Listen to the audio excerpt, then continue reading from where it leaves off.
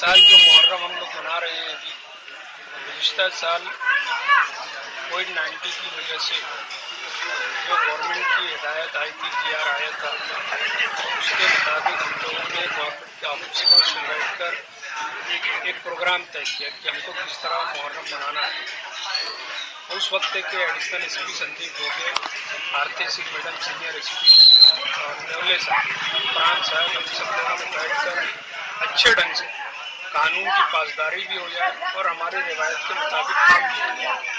उस बुनियाद पर एक प्रोग्राम तय किया गया और ये हुआ कि कुछ दूर तक ताजियाँ उठाकर कांधों पर या गाड़ी पर रखकर चार चार की हमने इस शहर में तेरह पॉइंट बनाए। उस पॉइंट तक ताजिया लाया जाए और वहाँ से कारपोरेशन गाड़ी हमको दी।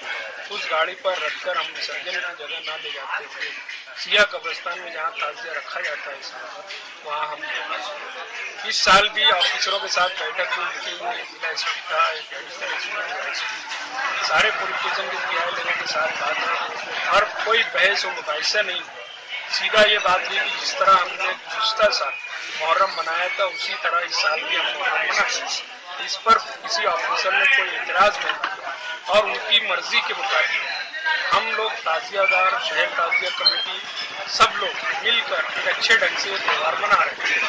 और हमारी कोशिश है कि शहर में किसी भी तरह की कोई बदलावी ना हो। और कानून की पासदारी भी हो जाए, हमारी रिवायत भी कायम रहे। इसके मुताबिक हम आज मुहर्रम मना रहे हैं। और हम देख रहे हैं कि शहर भर में ताजियादार जो अपने अपने मकान के बाहर ताजिया रखे हैं इस साल। बारिश हो रही है। बारिश के ऐसे वक्त में भी ताजियादार पूरे अपनी शान और शौकत के साथ अपने द्वारे अपने घर के शहर में, अपने घर के बाहर ताजिया रखे हैं। और कल आशूरा का दिन है। आशूरा का दिन होने के बाद परसों जो है, शनिचर के रोज तो विसर्जन के लिए या ताजिए का जुलूस जो निकलता था, वो ढंग से तो नहीं निकलेगा। लेकिन कानून के दायरे में रहते हुए जो पिछला साल हमने मुहर्रम मुहर्रम की ग्यारह तारीख को जुलूस की शक्ल जो थी, उसको जो ढंग से हमने पिछला साल मनाया था इसी तरह इस साल भी हम प्रोग्राम करेंगे। और कानून कहीं भी हम तोड़ने वाले नहीं हैं, कानून की पासदारी की जाएगी। शहर ताजिया कमेटी की एक बड़ी जद्दोजहद इस साल भी कि हमने शहर ताजिया कमेटी की तरफ़ से ताजिया घर बनाने का एक इरादा किया था से कारपोरेशन ने अपने महासभा की मीटिंग में मंजूर किया। हम शेख रशीद साहब, कायरा मैडम और बरसर इकतदार के तमाम कारपोरेटरों के शुक्रगुजार शहर ताजिया कमेटी, कि उन्होंने हमारी इस तजवीज़ पर लब्बैक का और अपने कारपोरेशन की महासभा मीटिंग में उसको रखा और ठहराव पास किया। उस ठहराव की कापी को और पूरा कारपोरेशन के प्रकरण को हमने पूरा करने के बाद हम बाय हैंड कलेक्टर के पास गए कारपोरेशन का लेटर दे क्योंकि कारपोरेशन के महासभा की मीटिंग के ठहराव काफ़ी लेकर हम कलेक्टर के पास इसलिए गए। कलेक्टर का एनओसी ज़रूरी था। कलेक्टर ने हमसे वादा किया है कि हम बहुत जल्द एनओसी दे देंगे। और वो हमारा एक बड़ा मकसद शहर में ताजिया घर का पूरा होगा, जो हमको ज़मीन ग्यारह हज़ार कॉलोनी मालदा शिवार में जो है बिस्मिल्ला शाह दरगाह के पास वो हमको मिलेगी। हम उसमें कोशिश में लगे कि वो ज़मीन अगर हमको मिलती है तो कारपोरेशन ही से पैसा की बात करेंगे कि वो तामीर करके हमको जगह दे। और उसमें जो भी फंड आएगा, वो तमामी कारपोरेटर से हम गुजारिश करेंगे उसमें अपना फंड दें। और पूरे हिंदुस्तान में ये अपनी एक अलग नवियत रहे। आप लोग ये समझ लेना कि हिंदुस्तान में दुनिया का ये पहला ताजिया घर होगा जो मालेगांव शहर में बनेगा। और उसका सेवा सिर्फ़ और सिर्फ़ शहर ताजिया कमेटी को जाता है।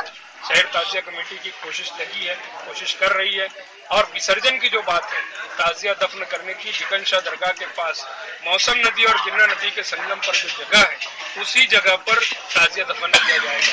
ये ताजिया रखने के लिए और बाकी रसूमात वहाँ पर अदा की जा सके इसलिए हम ताजिया घर बना रहे हैं और दफन के लिए जो जगह है बरसा बरस से जहाँ पर ताजिया दफन किया जाता है जिकन शाह दरगाह के पास, वहीं पर ताजिया दफन होगा और मैं फिर आखिर में पुलिस ऑफिसरान का, हमारे कलेक्टर साहब सूरज मांडरे साहब का, एडिशनल कलेक्टर का और तमामी ऑफिसरों का, पुलिस के हमारे एडिशनल एस पी एस और डीवाईएसपी मैडम उनका हम शुक्रिया अदा करते हैं शहर ताजमहल कि उन्होंने शहर के हालात को समझते हुए, देश के हालात को समझते हुए ऐसी बीमारी के वक्त भी हमको प्रोग्राम करने के लिए जो भी छूट दी, उसके हम उनके शुक्रगुजार हैं। और आइंदा भी हम यही उम्मीद करते हैं ऑफिसरों से कि शहर ताजिया कमेटी के साथ जो ताउन आप लोगों ने किया है, आइंदा भी हमारे साथ ताउन करते रहेंगे।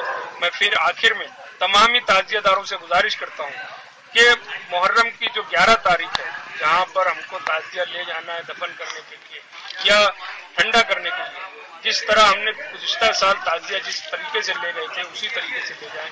कोई भी बदनजमी पैदा ना हो, कहीं धूमधाम ना हो कहीं जिद्दीपन या अड़ियलपन की बात ना हो, कि हम ताजिया ऐसे नहीं वैसे ले जाए शहर में कुछ लोग हैं जो बदनजमी करने की कोशिश कर रहे हैं। हम बहत्तर वाले, हम छिहत्तर वाले नहीं और इंशाल्लाह बहत्तर वाले, बहत्तर ही वाले जैसे रहेंगे हम हुसैनी हैं, सब्र करेंगे। यही मेरी आप लोगों से गुजारिश है कि आप लोग पूरा पूरा कॉपरेट करें शहर ताजिया कमेटी के साथ। इंशाल्लाह शहर ताजिया कमेटी हमेशा आप लोगों के साथ रहे। खुदा